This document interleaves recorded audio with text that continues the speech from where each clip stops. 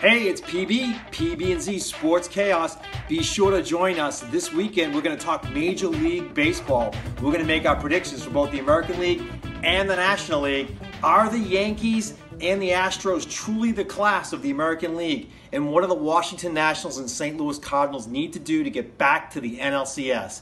And the Los Angeles Dodgers, top to bottom, are they the best team in the majors?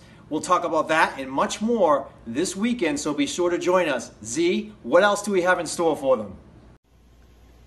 Hey, PB, thanks for the handoff. Looking forward this weekend to those predictions, AL and NL. By the way, I don't know about the Sox. They look even worse now. They're down to one pitcher with E-Rod out with the coronavirus for a while.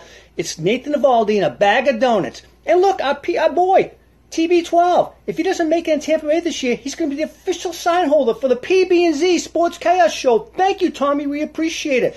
Speaking of coronavirus, Russell Westbrook is out for a couple weeks for uh, the Houston Rockets, and God forbid one of these guys does not come back after 10 to 14 days and gets critically hurt or, or injured or sick or worse. We'll see. And speaking of critically injured, Myles Garrett hits Mason Rudolph over the head and he gets a $125 million contract. Go figure, sports fans. All right, we'll see you this week.